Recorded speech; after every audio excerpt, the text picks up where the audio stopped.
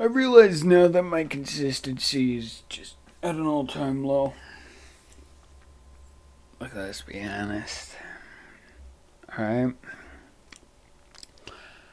I have not been consistent. Right? All that other crap happened, and now I'm making this map and making a campaign and Oy, oy, oy. Uploading is taking a back seat. Reading it. Ay, ay, ay, ay, ay, ay, ay. So, what's been happening with me? What's been going on? I've, I've been. I've been. I've taken a hiatus for a little bit. So. The, the coaching session with Solar was really cool. First of all, because I gotta have a one-on-one session with Solarbacca. Um, best GPNA. I, I thought that was really cool. Um, and he was, you know, he was he was he was really chill. He wasn't as critical of stuff as I was about stuff right? Like he, like damage. I, I was all like, well, I mean, my damage was kind of like bad because I was looking at the numbers, and you know, you're supposed to have like a thousand damage per minute, right? And so the game went like 28 minutes, and I was down like you know, however much damage. But relative to my laner, relative to my jungle, relative to the enemy ADC, I did I did quite a bit. Right? I did on par with the enemy ADC. I did more than my jungler and more than my laner. Enemy laner, right? And he was all like, relative to, you know, all this other stuff, right? Like you know, you you did all right. You did all right. So I, I mean, that, that was cool. Um, and also, he um, he said that I, you know, wasn't a bronze four player. Let's play the clip now. Yeah, I, I don't know. You're not a bronze four player. uh, I have some knowledge, but it's just like I don't play as much as I can because I have a day job and I'm trying to like I play so many other different games. It's, to have if, consistency. if you if you do want to improve, I mean, something you could do is just look at back look back at this VOD and Uh-huh. look, and listen to the concepts that I say, and then try to apply them to like the few games that you play. You know, you could play three games a day, but if you if you try to at least keep in mind what I say and practice it and be like, did I do that this game? right. Did I not do that? Then you'll be fine. You'll be fine with it. Okay. Beautiful. Beautiful. All right. Cool. So does that mean I'm a bronze three player? No, no, no. I have no idea. I think just consistency, right? Like with everything in life, you need consistency, but with league, you need like you need to only play league, and I don't only play league, dude. I play everything and anything that I think I might like. And you know, if if there's a potential to where I might enjoy this, I'm uh, I'm gonna jump in and try it. You know.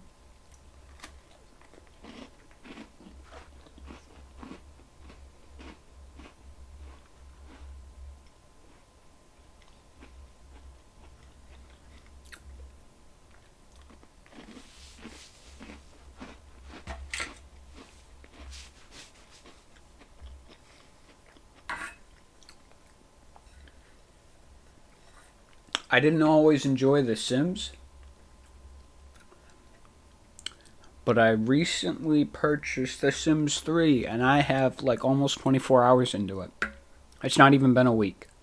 I know it could be more ridiculous, but as I said, I play more than one game. Right? We've got Warhammer, we've got League, we've got Oblivion, we've got um Slay the Spire on occasion. We've got Don't Starve. Like, this list could be endless, my guy. Endless. I mean, but it's not, right? I know we got that campaign that I'm trying to set up for the boys, which is happening today, by the way. that's happening today.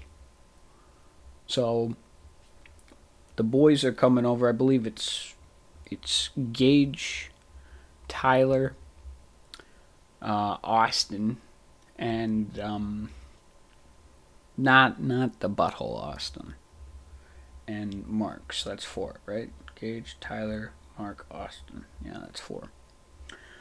I hope I have enough sheets for the boys.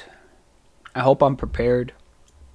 I mean, they're just they're just making characters. They are just making characters, right? So it's it's not that crazy. It's just you know, you know, if we if we have enough time, I'll. Well, actually, no, no, no. It's just characters, just character creation. Because it's it's a system that not everybody's used to. I'm doing this one in um in Warhammer Fantasy Roleplay, which I also told Solar about and rolled a clip. Well, not much, not much, dude. How you been? Uh, I've been all right. Uh, m- making a, a campaign, a a, a role playing campaign. Yeah, Ooh, that's pretty awesome. yeah. What, what, what, what do you roleplay? Um. Well, we we usually do D and D, but um, I uh, uh, Warhammer fantasy role play, which is Oh, I've heard of that. Yeah. Yeah, Yeah. yeah. but yeah, All right. That's pretty sick, dude. Nice. yeah. Made a map in MS Paint. Let's go. Yeah, yeah, That's yeah. what we like to hear. it's it's so cool because I've been telling everybody about this. I've been telling, you know, everybody who will give me, you know, enough of my time so that I can shove that into the conversation. Um, my brother thinks the map is sick, right? He's all like, "Whoa, that's so cool! This bit right here looks so like Siege of Avalon." I'm like, "Oh yeah, wow, it does." That's cool. And I made the whole thing in MS Paint, my dude. MS Paint. Like it's it's so cool that I could make something so sick in like such a basic tool. It's so basic and yet it's so it's it's so good and it's functional. Hmm. I mean like I could keep geeking out over it, but bottom line, it's sick. My sister thinks I'm a nerd because of the map, and maybe also because I have so many notes of like encounters and like stuff. I mean, that I don't think that helped because I was showing her all of that stuff because I don't want to tell Mark all this stuff and I don't want to Gage all this stuff, right? Because metagaming can happen, right? Even if the players, out of everyone that I know from that group, I feel like Mark is. I I apologize. I'm trying to eat cookies. Out of all the players in that group, I feel like Mark is the biggest one to metagame, right? Because he's just, you know, he's that guy who's like, all right, how can I achieve like, you know, the the, the best I can be, right? You you fit the game to fit your agenda, right? That's what you do. So that's why I don't want to give him all this information, but I told him about like some items that I made. Um yeah. Man, I'm just I want to tell somebody all this crap, but I don't want them to do what Gabby did and be like, "You're such a nerd." I mean, obviously it's true. But, you know, it's I think it's the, the coolest thing ever. I've never done this before. I think it's so sick, but I got to contain that. Right? I got to contain it.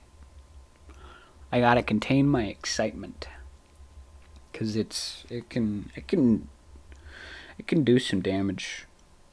And also, I got to take everything that I think Austin has done, which I think the make like the major points, the huge, you know, bullet points to take away from everything that he's done in his campaigns is, you know, do not, um, don't,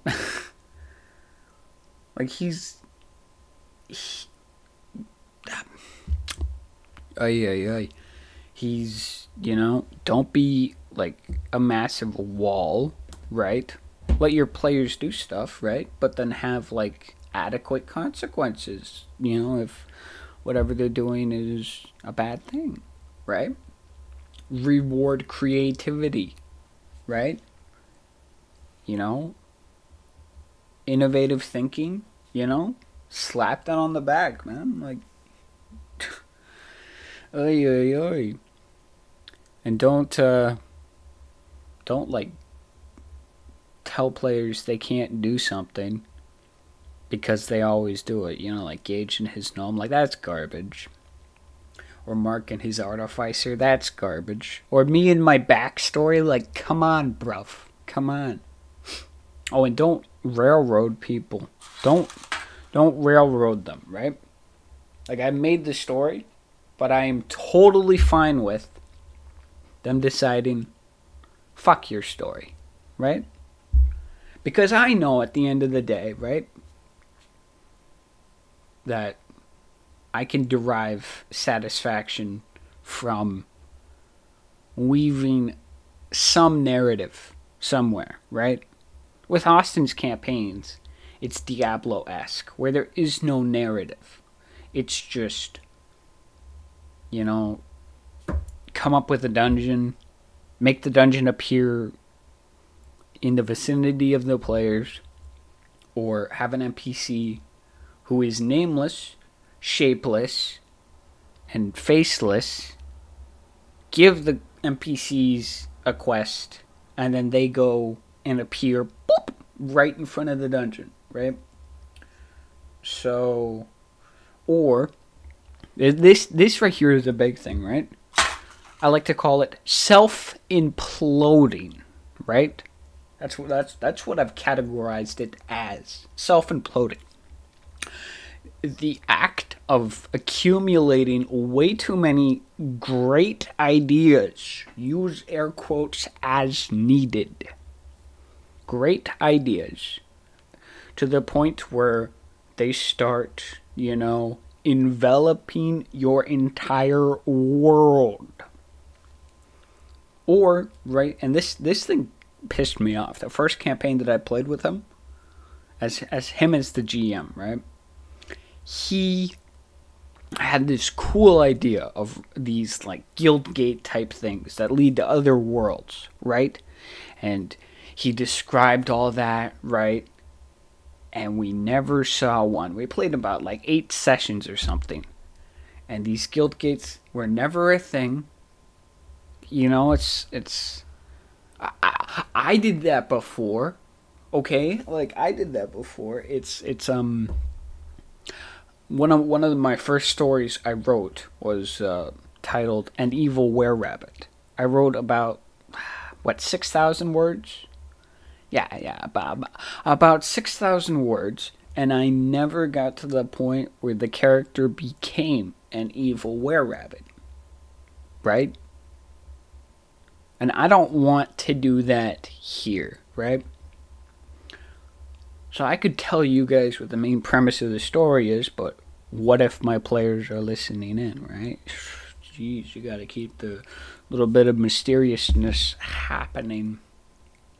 No, no, okay, wait a second. I'll tell you because I believe, without a shadow of a doubt, that no one that I know who I play role playing games with watches, listens to my, you know, content. Like, that's entirely not a thing right? So, I guess realizing now, right? Thinking now, it's kind of inspired by Dungeon Lords, right? Where this this king, high king dude, has a daughter, and for reasons unknown, she is missing, right? And you know, a group of adventurers are not tasked with hiring her specifically, but tasked with ridding the world of filth. At least that's Dungeon Lords. In mine, right?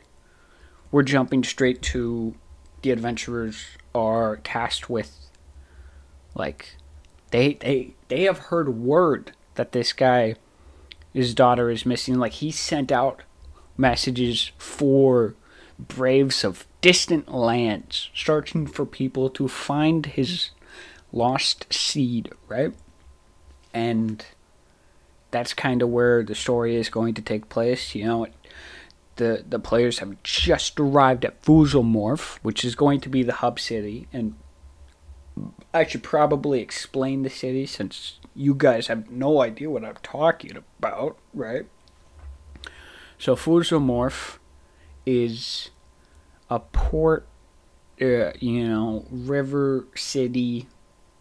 It's it's got you know, just just a bunch of stuff. Uh, you know, it's it's all encompassed by walls and it's it's got a nice uh, nice nice busy uh, commerce and most of no most most if not all of the stuff is you know surrounded protected by walls right and uh, but one of the major things of this you know city is there is a lot of uh, strife, there is a lot of, you know, friction about a certain topic, right?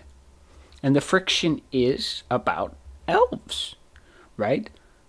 Elves have just come to the city and they're basically squatting there, right?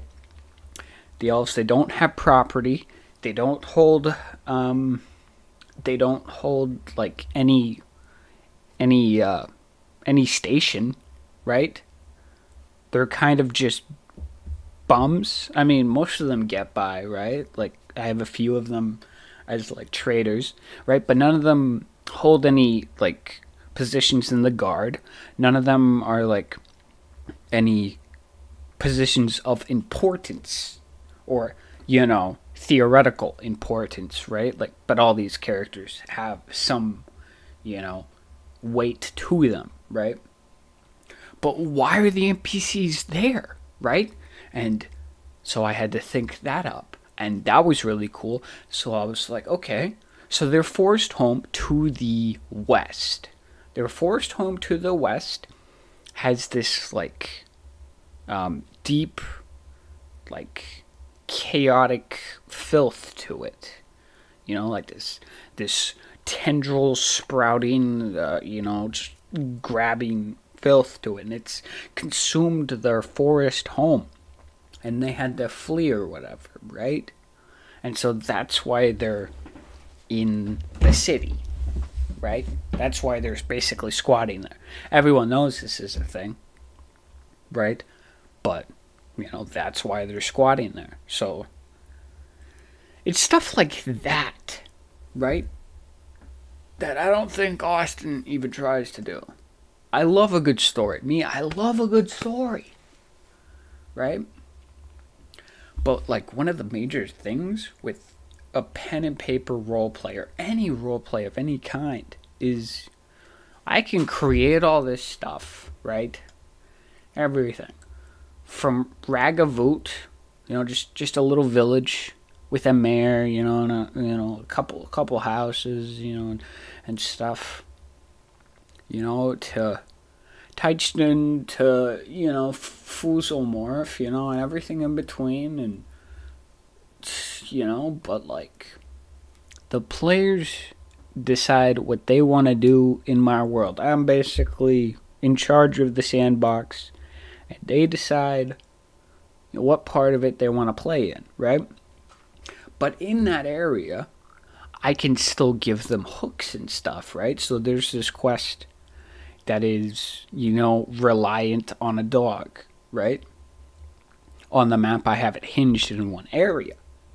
But there's nothing telling me that I cannot move that. I have every power in my being to move that dog to any location. You know? And then just come up with a, a neat you know, story idea as to why he moved, right? Why did he move? Well, you know, he moved so he could find people quicker, so he could help his uh, in distress master, right? Like, boom, easy, right? So nothing is hinged into one area, and you can use hooks and clever things to reel in the players so they bite. And obviously, if they don't bite, you're kind of screwed in in that sense. But it's like they don't need to um, bite onto the, you know, the uh, event uh, thing, right? And even if they don't, right? This this is my take. Have it play out anyway, right? So, like main quest line, the um, the players are supposed to retrieve the daughter, right? So they retrieve the daughter, and they get back into there. And I have a timer going off the moment they get back into the city with the daughter, right? And I say that about like in game, I, I'm like, okay, about like an hour, if they're dragging their feet, the king is dead, right? If they're dragging their feet for about an hour, the the king is dead. Like if they're off going to shops and like you know just seeing what what the heck is going on. If they get distracted, then the king is dead. But you know if if they arrive like in game pretty swiftly, then they're there before you know the craziness shenanigans happen, right? And then if they arrive like 30 so minutes in, then they're there while the chaos is happening, you know, and it's all that fun stuff. But like things that were affected by other things are still going to play out no matter what the players do, right? And you got to just like you know, just play around that that they can, you know, change or they can they can affect goings on all over the place, right? But what whether they do it or not doesn't really change much, right? What what what this kind of it, it brings it brings them back back down to realism, where you're it, it, sends me this message to them, and I don't even know if it's right or not, but this is what I think. I think it's it's all like um, you're not as special as you think, right? Because it's like, oh wow, you know we we did this, but then such and such still died, and then you know this this place got blown up to you know smithereens, right? So it's you know it's, you're you're not some special snowflake like you know? I don't know. I don't know. I'm i'm super stoked. I'm super stoked. I'm also a little bit nervous because i've i've gm'd one time. One time. I've done it once and everyone was like eh you're you're pretty good. You're pretty good. You're pretty good. Mark's like you listen to your players.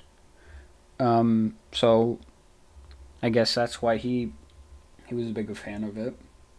Um, I made Gage a custom uh, career, which is basically a class for uh, Warhammer Fantasy Roleplay. So I guess that's why he was like, "All right, cool, cool." Um, and uh, I didn't tell Tyler he couldn't do what he wanted to do. I said he could certainly try. So maybe that's why. But I mean, I'm still like I have, I have no idea what I'm doing right? And um, one thing I don't like when when um, when I have no idea what I'm doing is someone like Mark telling me like the rules for stuff. Like I'm not a fan of that. I understand that the rules are part of the game, right? But it's just like the way he said it the first time was it, how I re- received it was very rude, like very you know like in your face like, this is the rules. You gotta read them. You gotta read the rules. This is how you play. You can't be doing that. You know, it's, it's like, shut up, man. I'm learning as you're learning. Okay, chill. You know, I I if if whatever it is is mentioned, you know, like in a non-hostile manner, I I'm gonna take it a little bit better than if it is. Because if it's not, then I'm gonna be like. Okay, dude, all right. Jeez. You know? Why you come at me with that? I don't know. I don't know. I mean, it's it's amazing to me cuz uh Mark quote unquote does not like uh you know, role playing games. He doesn't like D&D apparently, right? But I think that's just because of all the negative experiences he's had with uh, Austin and all his campaigns. So I have to, I have to, I have to uh, live to deface that notion, right? That uh, every single campaign is is going to end the same, or like the same problems are going to arise from every single campaign, or you know, just stuff like that. Because he's kind of hardwired. He's kind of just like, this is how it is, and if and if this is not how it is, I'm gonna throw a fit.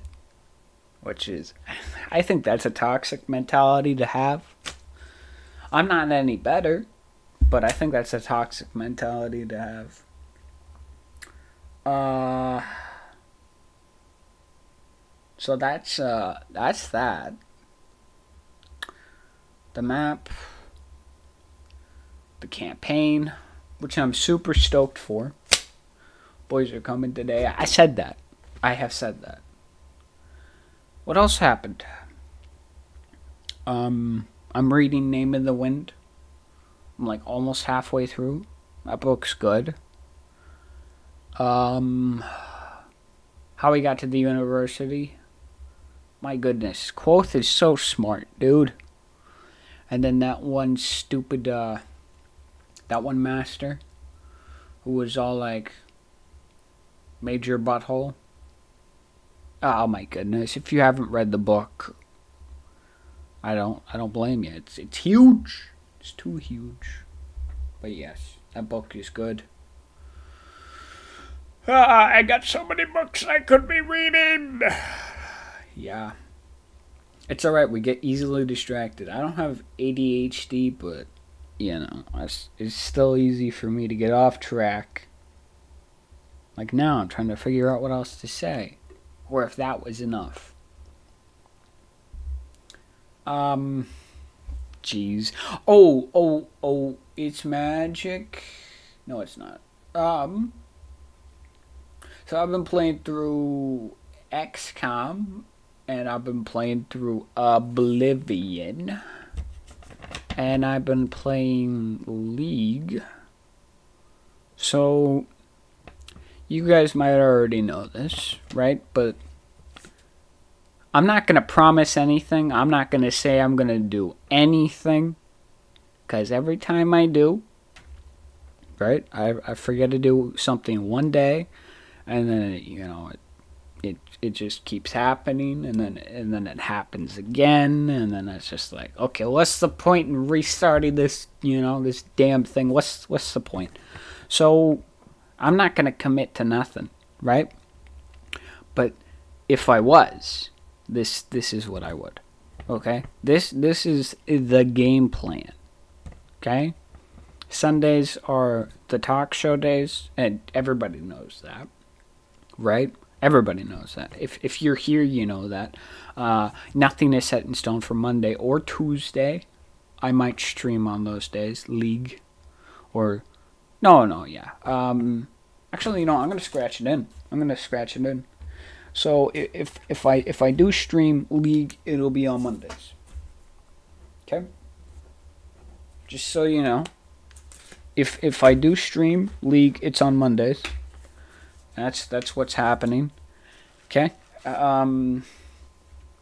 Um. Tuesdays nothing. Um.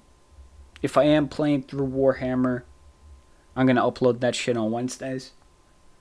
Uh, I haven't played that in a while, so that's on the back burner. Um, but I am playing through XCOM. the last time I played it, uh, my mechanic called me, and I had to kind of just like leave, and I was kind of distracted because of that. So I kind of uh, made a bunch of mistakes. I mean, I kind of just want to restart, but at the same time, right? It's it's possible to save the world still. it's possible to save the world. So, um, streaming XCOM live um, on Thursdays. Um, and it's this. All this is up to you know how I'm feeling if I'm up for it, right? But this is the idea, right? So Thursdays XCOM live. Um, and then Fridays, um, I'm uploading like almost hour long videos of Oblivion, and I'm playing through that. So that is the game plan. Like I said, nothing's set in stone, and I have the power to veto anything I have just said. With with one simple, you know, with one simple thing you know just just like ah how about we not? You know so i wouldn't get your hopes up on nothing but you know just just keep your eyes peeled because i could do something that you're interested in right? So you never know. And also you might miss the sound of my beautiful voice right? Everyone loves the sound of my voice. Apparently i took a, uh, a month long hiatus from talking to people because my sister gabby um, she said something, and what she said kind of made me a little, you know, angry. And I was angry because I was thinking the same thing that she said. And I was thinking it the whole day. So the whole day I was all like, no one's listening to what I'm saying. What's the point in talking? Communication is overrated. Like, comms are overrated.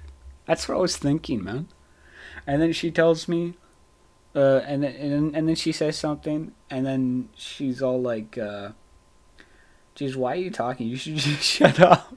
and I was thinking that the whole day. I'm like, "What's the point in talking?" so I'm like, "Alright, fuck it. I'm not gonna talk for a month." So I did that, right? My goodness, the best month of my life. The best month of my life. My goodness. It was fine until like the last uh me getting stuck on the optimizer with two new bastards was so annoying. And Colin, who don't lift a finger to do zip. I mean, that guy still being hired there is just amazing. The guy, like, he shows up there and he don't even do nothing. And then he'll just, like, walk around and he you know he might he might help a little bit but it's like he, he usually just gets in the way. He just gets in the way man. Like what the hell? And then he walked up to me and he's all like so what have you been telling the new guys? And i just i shrugged my shoulders because i didn't tell him nothing. I was under the impression right that they can learn from just watching me. And if they can't watch me and pick up anything, then they're retarded and they shouldn't be here. And I still stand by that. 100%, right? Um, which, which is just, you, you know, it's, you're stupid. So, and then, uh, like, apparently Lisa talked to Chad. I bet it, I bet it was Colin and Lisa that were like, this guy needs to talk Fuck those two people in particular. Fuck them both. Because that's that's. I did not get hired to talk. I did not get hired to communicate with nobody. I got hired to move boards. That's what I'm doing. I I proved it that I can that I can do my job and not run my mouth at all for a month. So what is, what is with these people, man? That just, they're dumb. They're dumb. I got so irritated I got off track. But you know what? Maybe that's fine cuz it's on brand, right? It's on brand. Oh, right. Month long hiatus, Gary work. Oh, yeah. And everyone, like, uh, this guy I know at work, Jose, was trying to get me to to talk. Um, the most difficult um, encounter was the little ones, the kids. Lindley and um, the Jones boys and uh, Terry. My goodness, dude. ah, I was so like when I was around those the kids, I was like, why did I decide to do this? But when I was around like adults or people older than me or my parents or you know Gabby, I was all like, I made the right choice.